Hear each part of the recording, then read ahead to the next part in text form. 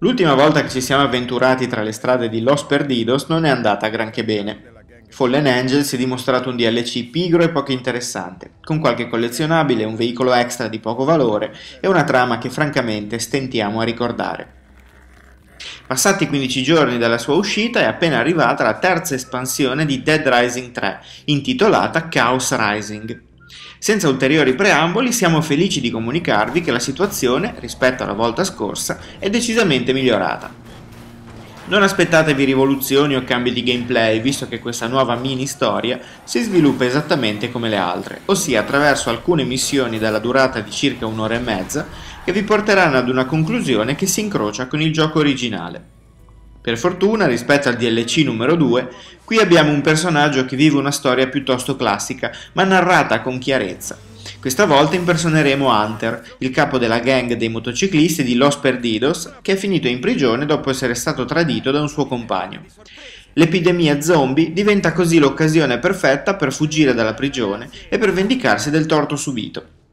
Questa crime story con i non morti in realtà non presenta alcun colpo di scena particolare, eppure ha il pregio di farsi seguire senza troppi complimenti, riuscendo anche ad inserire qua e là piccole caratteristiche che probabilmente rendono proprio Chaos Rising la migliore espansione delle tre uscite finora. Come di consueto sono state inserite delle nuove armi che comprendono lo schioppo, ossia un fucile molto potente che incendia i nemici, un grosso martellone, un elmetto chiodato con cui prendere a testate o caricare i nemici e una nuova arma combo che permette di lanciare delle pale.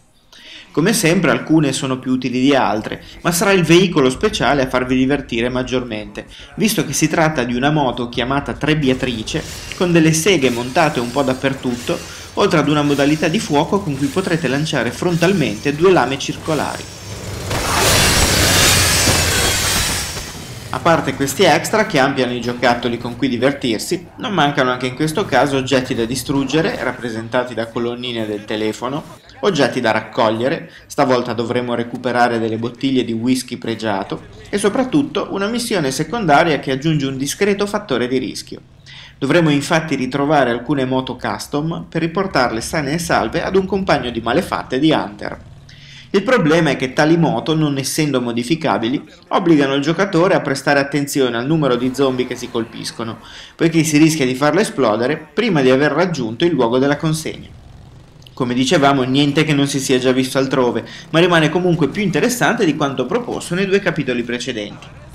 Un'altra ottima introduzione è l'inserimento di alcuni nemici umani che di fatto si comportano in modo differente rispetto ai soliti soldati attaccandovi con molotov e cercando il corpo a corpo.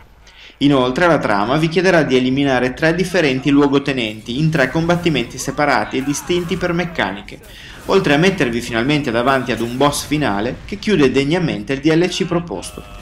Nell'arco dell'avventura potremo dunque combattere contro due psicopatici aggiuntivi, avvenimento non contemplato nelle due precedenti espansioni che non ci avevano proposto nemmeno un vero combattimento finale.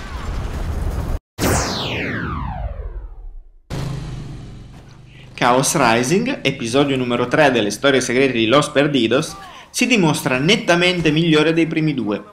Chi deciderà di acquistarlo per 9,99 euro potrà vivere un'avventura divertente, seppur piuttosto breve, e potrà aggiungere al proprio inventario alcune armi interessanti, un veicolo fantastico e due scontri con altrettanti psicopatici tutti nuovi. Non cambia di una virgola le meccaniche di gioco, ma riesce a farsi giocare tutto d'un fiato lasciando il giocatore soddisfatto dopo il suo epilogo.